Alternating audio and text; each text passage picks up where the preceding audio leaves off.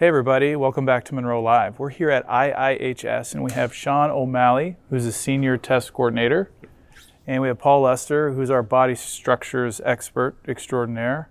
And we have the luxury of getting a tour of this great facility, and we're also going to see a crash test today. And one of the most popular things that IIHS had, had done is they ran in, uh, they, they had a Chevy Malibu, and what is this, Sean? It's a 1959 Chevrolet Bel Air. But this just shows you how much crash safety has improved over the years because when you're using basic mild steel versus the amazing safety measures that modern cars have, that video shows the the amount of safety that you have with modern vehicles versus the old stuff. And is there anything you want to add, Sean? No, I mean, um, we ran this vehicle into that vehicle, the same overlap at identical speed, 40 miles per hour. Um, mild ankle injury for the driver dummy in the Malibu, uh, potential decapitation of the head. The legs, we had to take the dummy's legs apart to get him out of the vehicle. Um, so yeah, fatal possible limp, the difference. Yeah. And you can see the paint all on the steering wheel and the dash. I think they put paint all over the head Yes, and we- torso, yep, yep. so let's see where it impacted. Yeah, there's there's no room for the occupant anymore in this vehicle. Yeah, and when you're watching our Munro Live vehicles, when we're tearing down Teslas and the Mach-E and the F-150 Lightning, we, when we talk about all these high-strength steel materials and and different crash mitigations for oblique pole, roof cr- crush, ejection mitigation, many of these safety standards are pioneered by this organization. Is that correct? For sure. Us and uh, NHTSA. Yep. Yeah, very nice. All right, so we're going to continue on with the tour.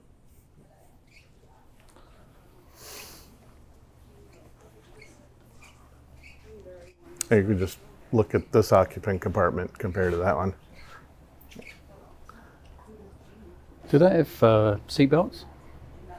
Uh, I don't think it Maybe a did. lap belt at that point? No? Ford was the first one to even had it. It was an option.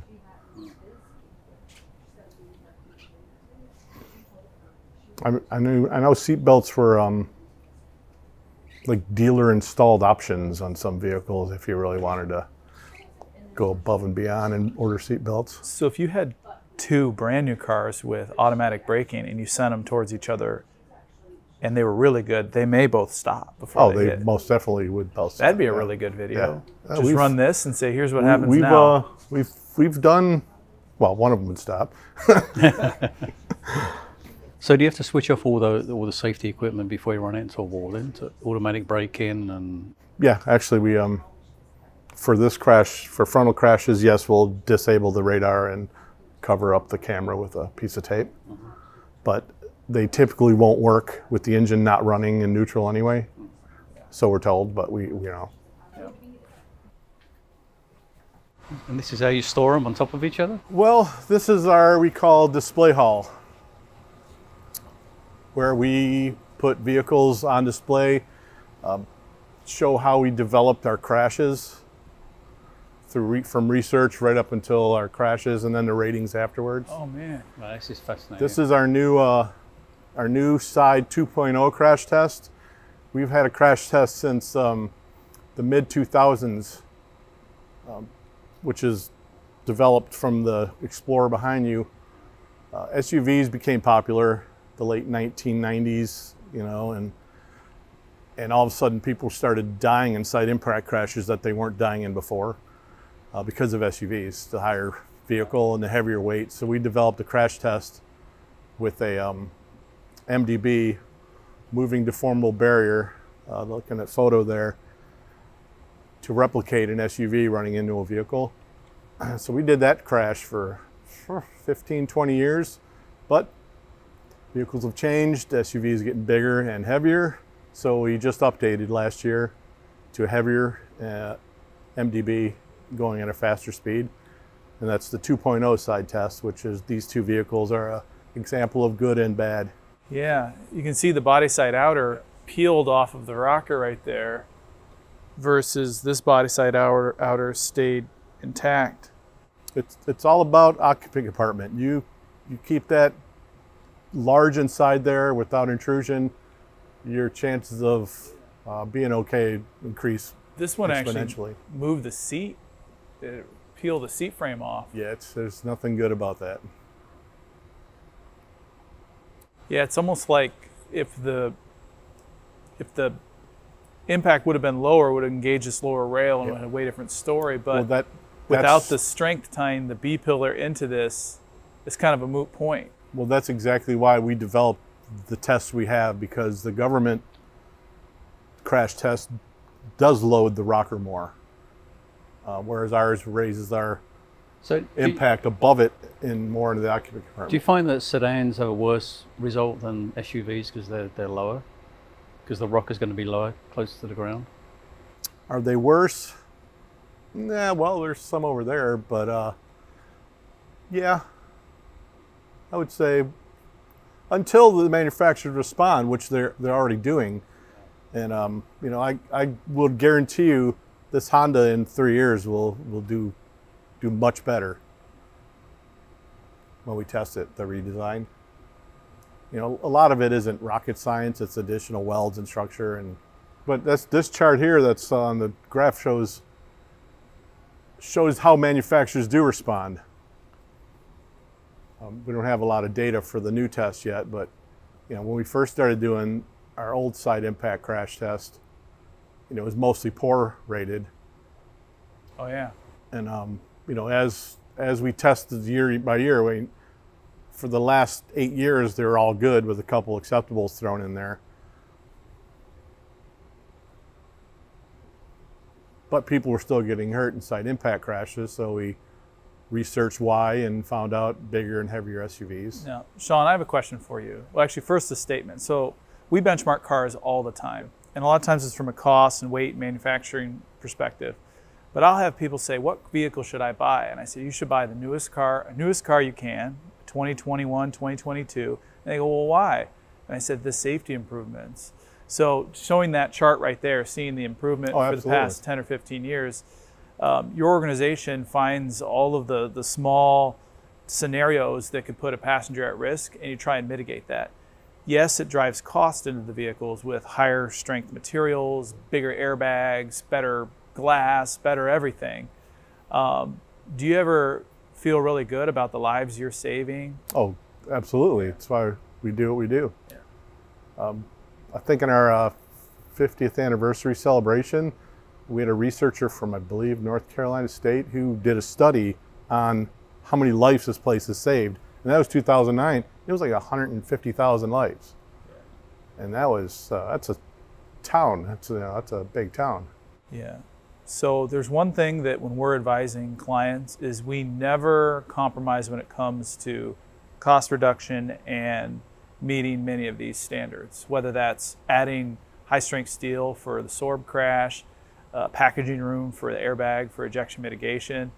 Um, these are things that the whole auto industry as a whole is in lockstep with. So Yeah, we really appreciate. And, that- Yeah. and to be fair, they don't want people to die in their vehicles either. You know, they, they want to do the right thing. Your updated barrier actually looks lower than the original one, didn't? Didn't you say it went the other way up? It- Um, I guess it looks lower. It's about the same height, but it is a lot heavier. It's um, 1,900 kilograms versus 15. That may sound like a lot heavier. Plus, we're we're crashing it faster too. What speed?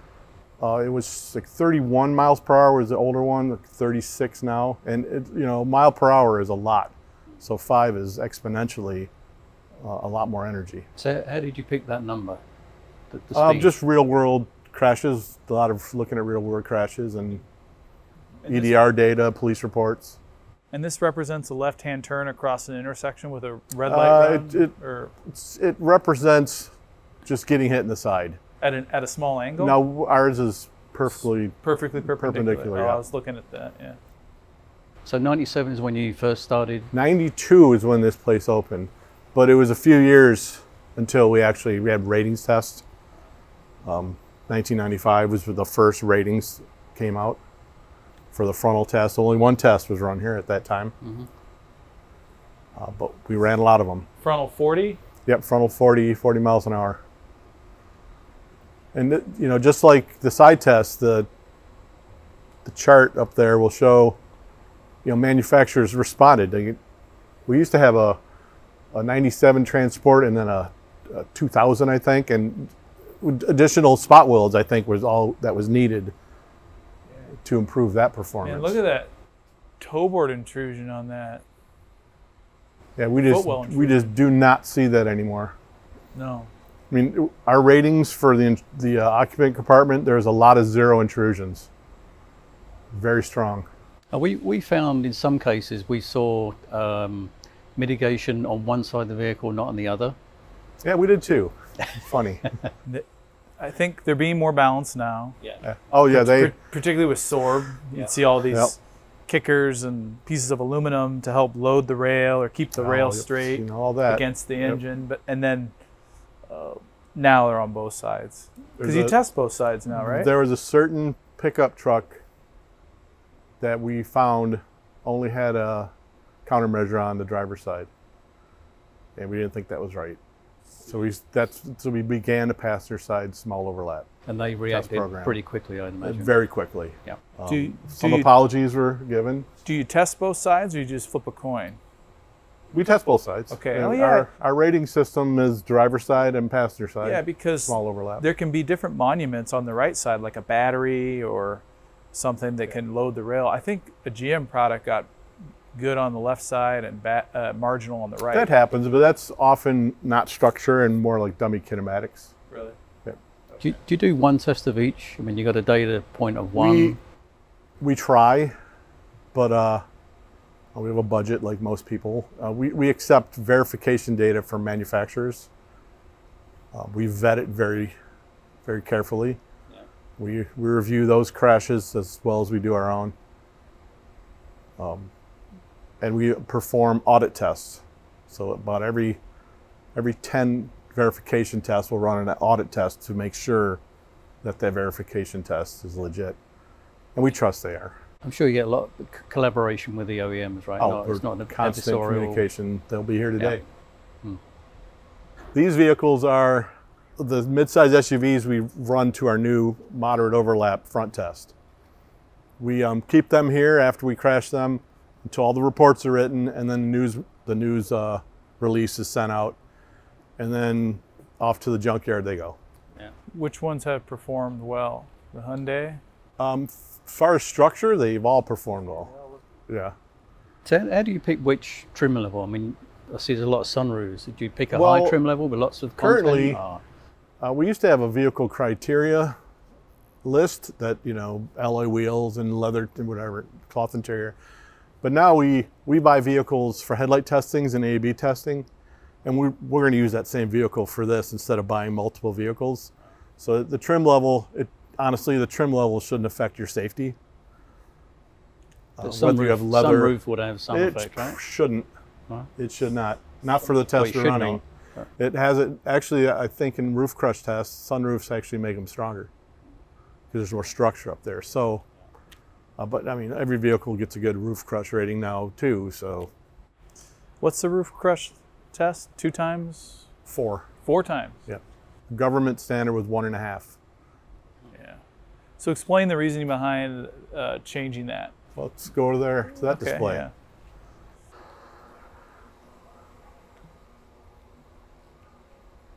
We um Same test.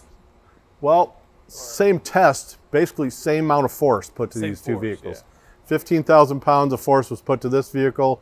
Fifteen thousand pounds of force was put to the the Kia Sportage. That is that is pretty stark. I mean, you could open the door and drive away in this one. This must have been a an outgoing architecture. Yeah, This, this was a newer It- architecture. that's true, and you know, two years later, this one was good as well. Yeah, but this this test was developed because, you know, people were dying in rollover crashes. The, the occupant compartment just getting crushed, and as I mentioned, the uh, federal standards were one and a half time vehicle weight, which is not that much. You know, dropping a car a foot maybe on its roof. So we upped it to four and a half times vehicle mass. And like the other test programs, manufacturers responded. Um, they're, they're pretty much all good. We're, we're phasing this test out, actually. we're just going to accept manufacturer's verification data. Do you find the, the, the domestic OEMs respond quicker to your results than No, I think it depends on how easy it is, how close they are to a, you know, changeover or something. yeah. But they all respond pretty quickly. I don't, I wouldn't say one responds better than the other. I'm proud of this one. 2010, we had we had some researchers looking into underride crashes and for with semis. So then we bought a few semi trailers. Uh, had our local trucking company lend us a tractor, parked it in the crash hall, and started running Malibus into the rear of them. I've uh, personally crashed 36 2009 Chevrolet Malibus underneath tra- trailers. It's got to be a record. So just testing different designs. We're just testing not the car, the rear underride guard, rear impact guard, I should say, rig. That's what they call them in the trucking world of semi trailers. Uh, the Canadian standard was was tougher than the U.S. standard. Um, the U.S. standard guard in 2010, um, anything would go under this. It, it, I mean, this 20 mile an hour vehicle would probably go under the guard. Canadian standard was five times that. But so thankfully, most manufacturers of trailers didn't want to make two different trailers, so they made the Canadian standard so trucks can go across the border. So we benefited from that. Uh, but there's one scenario where if the vehicle is off center a little bit, because the, the standards basically are loading it straight on, off center a little bit, the vehicle's going straight under regardless More load except for one manufacturer did well. So uh, because they had the verticals outboard more, those two verticals. That's every trailer. You've seen thousands of these, right? So it, it did well. So we thought, well, we'll give them an award for stepping up and doing the right thing. And then another manufacturer stepped up. Another one. Now there's nine trailer manufacturers, either have standard or optional guards that win our Tough Guard award and they did not have to do any of that. This is we are not a regulatory. Yeah. Um, that uh, when I drove to Michigan in 2015 to see family, I saw one trailer with a Tough Guard award that I you know I because I've tested all these, I recognize them. I saw one. Uh, our last trip to Michigan in June, I stopped counting after 100. I, they're they're on the road now, and this is going to save hundreds of lives a year, which may not sound like a lot unless it's somebody you know. Do you ever consider how hard you push a manufacturer to improve, and is it is there too far? And let me give you a, an example. I'm a big NASCAR fan. I saw you had a bunch of NASCAR uh, cars in your in your office. Full roll cage, five point harness, helmet, fire suit, crash at 150, 180 miles an hour, typically fine, even with a, a Hans device. So if I drove down the road in a 2022 NASCAR and I got hit by somebody going 80 miles an hour and I rolled off the side of the mountain, I'd probably You get up get out fine. away. Yeah. So is where does the reasonableness of because then a NASCAR costs like three hundred thousand dollars, carbon fiber, welded chromoly steel. I mean, it's probably wild how expensive it is. There's like a, a balance. How hard do you push, and what's your criteria there? Our, we don't really push them. Okay. We try to recreate what's happening in the world, Yeah. and that's what we do. And then we'll tweak it up a little, right? I guess, but I mean, we could run these tests at 80 miles an hour, and there'd be no survivor, and then and then what, you know? So our crashes, our crash modes, when they first come out, there's a range of good to bad performers, and then everybody tweaks up the good, and then we'll maybe push a little bit more. But if you push it too far, nobody's going to respond. From this door, the display hall this way is vehicle prep, uh, where we do, you know, prepare vehicle for an actual crash test. Uh, the room behind Paul is our photo studio. Uh, when a car is first delivered to this facility, it is put in this room, put on a turntable, spun around, and numerous pictures are taken. Hi, Joseph. Coming into your room. This is the measurement studio run by Joseph over here. He he measures every vehicle. When I say measure, I mean we. This is our post-crash measurements. Our pre-crash, sorry. So do you Pre-crash scan it measurement. or? Now we don't scan it. We have a a, a CMM arm. Oh, okay. You, you guys probably have one of those, I imagine. No? We should have one. We Should. Probably should have. But. So yeah, we'll set. He sets the seat where it's supposed to be for the dummy. We. It's quite a process. You have to put a. Is it in there? Yeah, he's in there, or he's going in there. A, um, this is a system developed by UMTRI, University of Michigan Transportation Research Institute.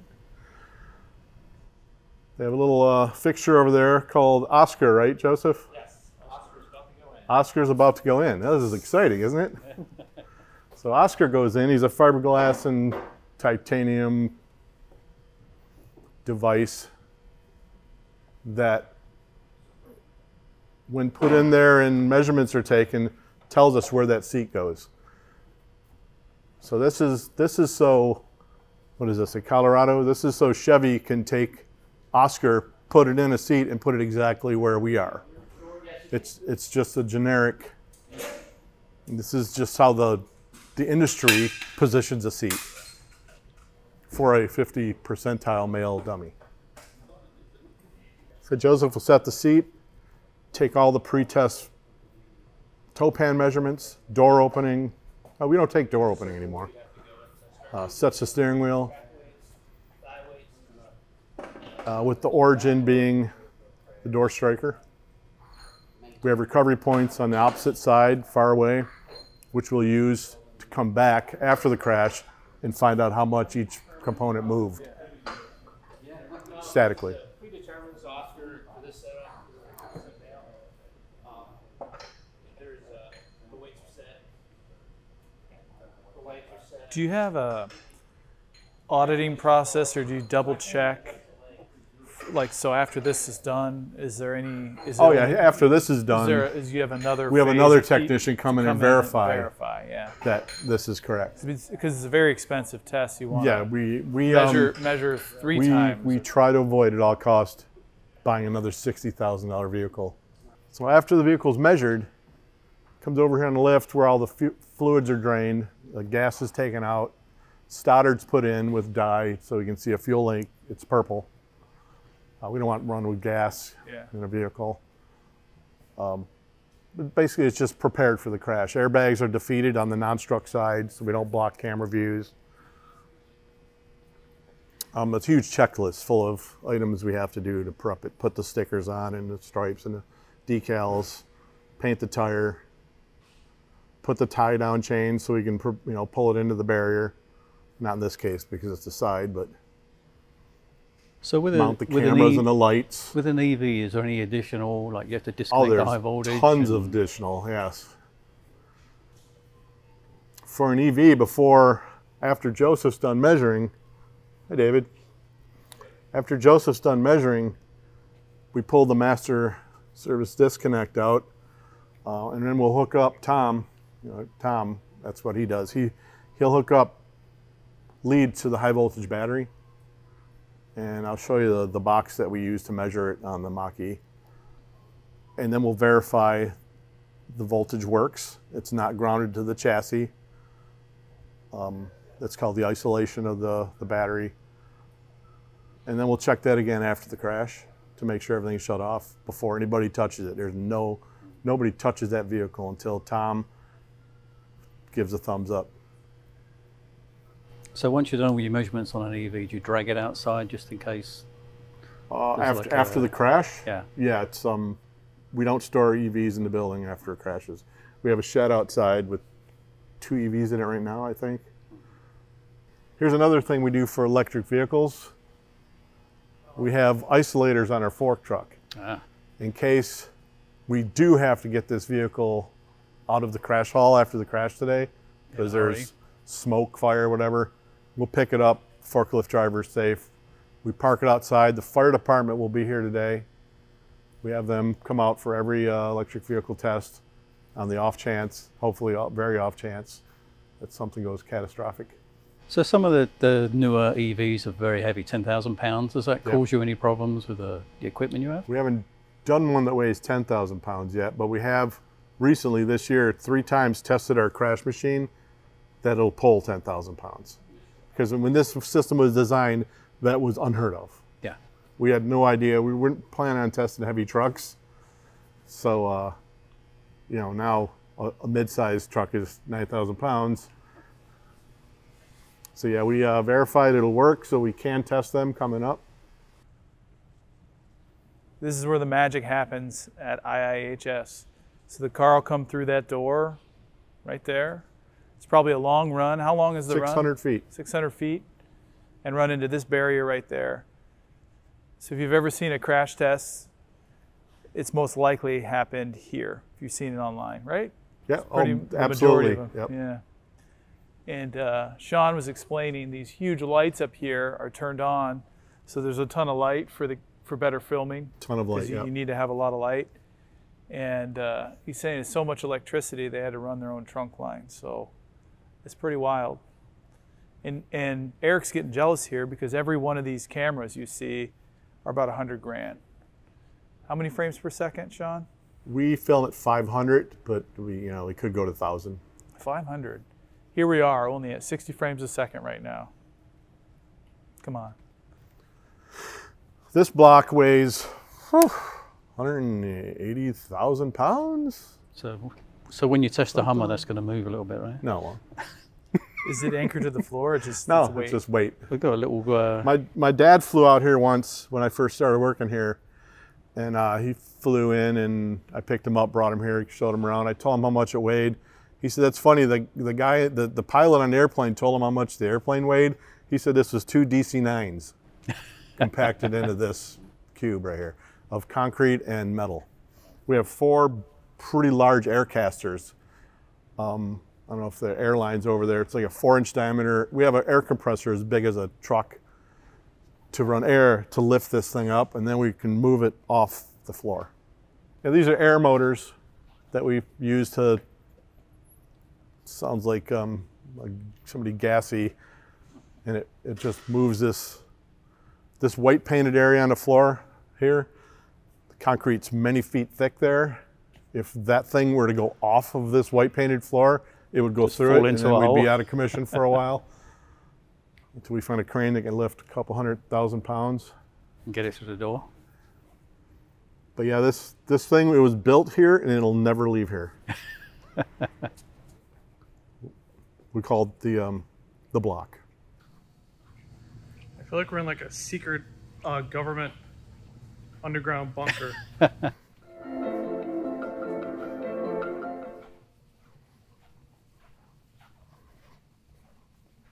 So what's the max speed you can get up to?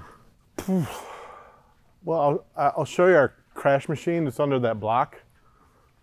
Um, the, the motor is it that, It's that pulls the cable? it's a hydraulic. oh, okay. It's a hydraulic motor. We charge up. We have one little pump that charges up 20 some accumulators, and it's all stored energy, and it just meters the fluid out to the motor to spin it. We could probably spin it fast enough to where it just starts shredding everything. So there's no, I don't really know the max speed. We've done 60 miles an hour, Really? Holy cow! but you know, at that point, then you're building friction up into the wheels and the pulleys, and you know, and at, at what point do you say, okay, we can do 90, but now it's ruined? What what safety precautions do you have once you're ready for a test? Do these doors lock out?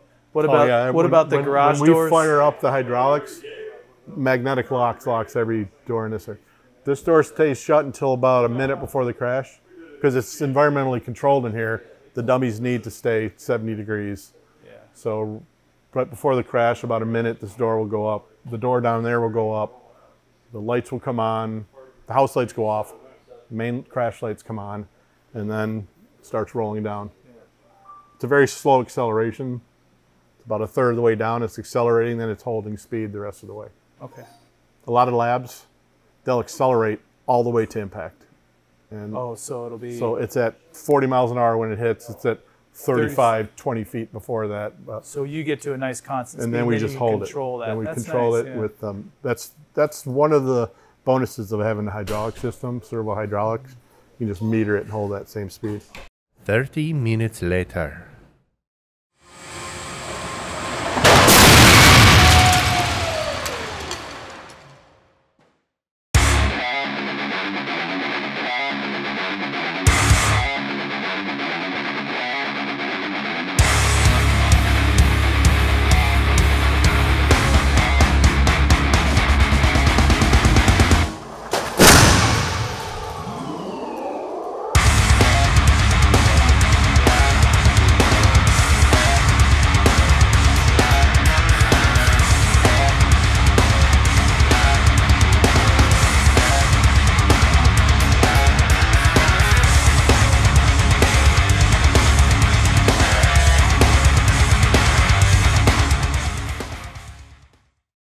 So we just witnessed the crash live, and this is our initial impression. The Mach-E held up surprisingly well. I mean, barely any deformation at the back of the fender, and they were showing us some of the older vehicles from 20, 30 years ago that that you know folded up like a like a house of cards. But Paul, you used to do this for a living. What do you think? I think? did. I haven't done for a while, but it's uh, you know you've seen the, the vehicle hit the barrier at 40 miles an hour. Still make sure your heart speed up a little bit, and this this this actually did very well. I've always been impressed with Ford's uh, crash structure, and this is no exception. Um, as Cory said, the fender moved back, but it tucked under the, the, the oops, door skin of the door. I shouldn't have touched the vehicle there. So you'd be able to, you'd be able to open the door easily, get the people out. Um, not too much intrusion. The, the wheel stayed intact, which sort of surprised me. So it moved back, hit the tire catcher at the, at the footwell area, uh, transferred some load and some rotation to the other side of the vehicle, but it all, it all happened as it should have done. It's a, it's a really good vehicle from, from initial look. Yeah, and a big thanks to Sean who stepped in right here. Go ahead. So we just had an amazing day here at IIHS. Thanks to Sean for showing us the ropes here. Amazing facility, amazing people. It works like a well-oiled machine. Right after this vehicle hit the barrier, everybody walked out and knew exactly what they were supposed to do. People were taking photos. People were sweeping up the, the little bits and pieces. Um, there was a lot of safety precautions taken. So you want to run through what was done because it was an EV? The first thing we do before anybody is allowed to touch this vehicle, we check the battery isolation. We make sure that the high voltage battery has been shut off from the vehicle, which they're all designed to do during air airbag deployment. Um, so we verify that, then we verify the battery's not grounded to the chassis. Um, check and check the temperature throughout that whole process uh, before we touch the vehicle. Uh, we have the fire department here. You probably saw them just in case something goes wrong. But yeah, after that, um, after that's been verified, it's just like any other test. We post crash measurements, pull the dummy out, look at the dummy data, um, measure it, and then we're done. Well, this was my first crash test that I witnessed. It was louder than I imagined. The the energy dissipation, you know, filled this room. It was quite amazing. Paul, I know you've been in this industry industry for a long time. What do you think about you know this facility and this test? It's, it's great. Yes, I think it's better than any of the OEM facilities I've seen. Um, it- with, with a w- real skeleton crew to get everything done, so it's very impressive. They got great facility, great people working here, as as, uh, as Cory said, and it works. I truly believe you're making the world a safer place. So really, thank you for everything you do. Thank you. All right, everybody, this wraps up our trip to IIHS. If you want to see more amazing crash videos, IIHS has their own YouTube channel with about 318,000 subscribers and I believe a quarter billion views. So, some really great content coming out of this, making the world a better place. So, thanks, Sean. Thanks, Thank you. Paul. Thanks, Talk guys. to you later. Bye bye.